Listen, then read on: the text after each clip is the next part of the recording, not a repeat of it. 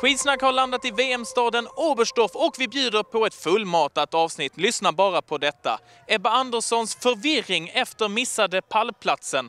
Detaljen som gör Moa Lundgren bäst i hela världen. Norska stjärnornas superfiasko i skiathlonen och efter sambons miljonvinst. Här slår Jens Burman till igen.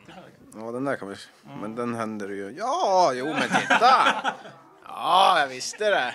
Ja, hur mycket pengar Jens Burman vann det får ni veta senare i det här avsnittet. Först så fokuserar vi på det sportsliga skiathlonloppen där Ebba Andersson var ytterst nära att ta en pallplats. Men hon föll på målfoto och det var rätt förvirrat faktiskt i målgången innan det blev helt klart vem det egentligen var som kom trea.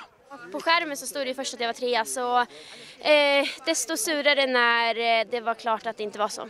Det blir en liten extra besvikelse då när man liksom blir lite lurad så att säga.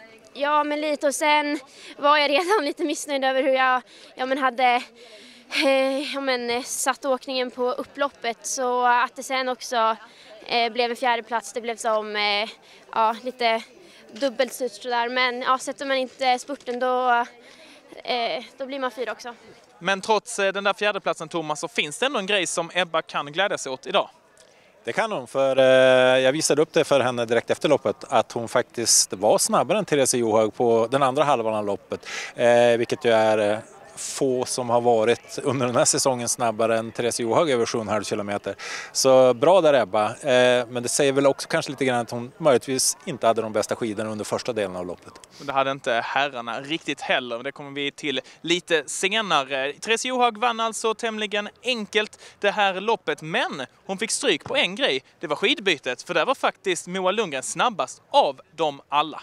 Ja, nej, vi var två i Lillehammer så att jag, jag gick för den segern idag. Hur mycket träning ligger det bakom att få till ett sånt bra skidbyte? Ja, nej, men eh, tisdag och torsdag har jag tränat.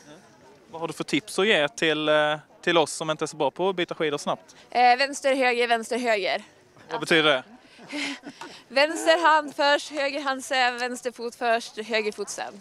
Hon har verkligen många strängar på sin lyra den där Moa Lundgren. Ja, det är en eh, fartig tjej och en otroligt snabb när det gäller till eh, skidbyte till exempel. Framtid som F1 depåarbetare efter skidkarriären kanske. Vem vet, det finns kanske en plats för henne där också i något stall.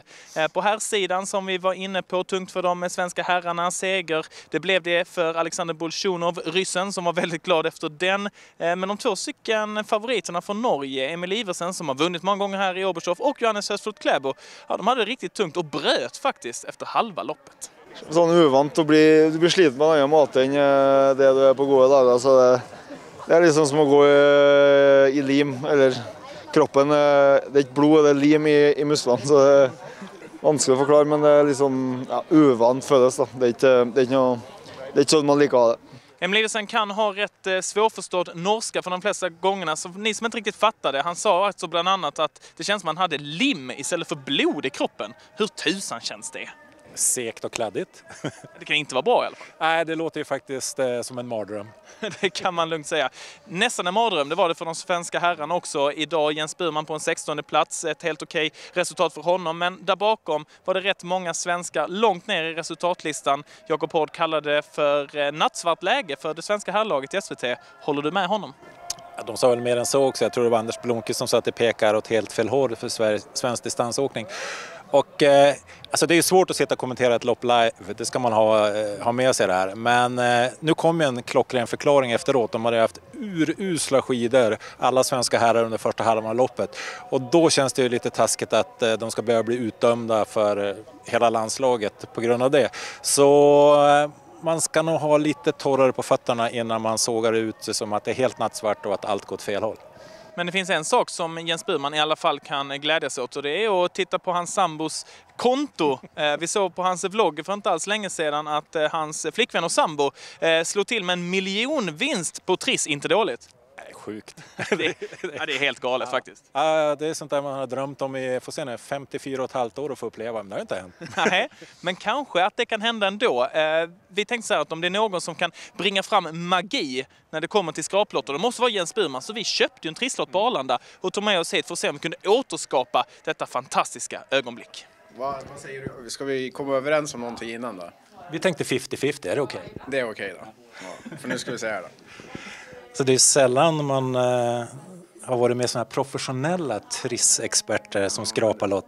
Mm, det båda inte gott för Emelie sa att den första rutan här var ett högt belopp när hon vann. Så nu har vi 90 kronor här så det var inte bra.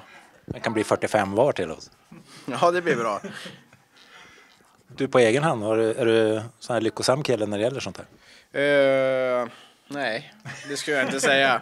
Jag hade ganska tur i, igår när vi spelade kort i bilen på vägen hit.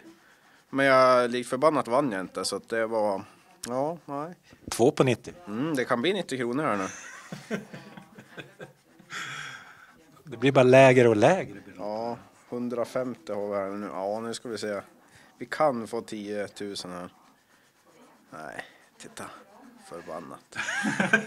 Den sista där? Vilken då? Ja, den där nere, den där till höger. Ja, den där kan vi... Men den händer ju... Ja, jo men titta! Ja, jag visste det. Vad ska du göra för dina 15 kronor? Ja, ja det blir nog till att spara. Vet du, ja men det är en säker pension det där. Det, är liksom, det kan ju växa stort tills man har gått i pension. Ja men det där var bra. 30 spänn delat på två. Om jag kan min matte rätt så är det 15 spänn var eh, för eh, de båda parterna. Det blir 7,5 kronor var för dig och mig. Vad ska vi göra för de här pengarna? Eh, jag tycker vi hoppas att Jens tar den där lotten, de här 30 kronor löser in den, tar en ny, skrapar fram en miljon till. Så åker vi till Bahamas tillsammans, vi och Burre och Emily heter hon va? Ja, det hade ju varit en drömresa, men den får vänta i så fall, för det är tävlingar redan imorgon söndag här i Oberstdorf när det är dags för sprint. Det fokuserar vi på härnäst här i Skitsnack. Efter det tar vi kanske en solsemester. Vi ses snart igen i Expressen TV.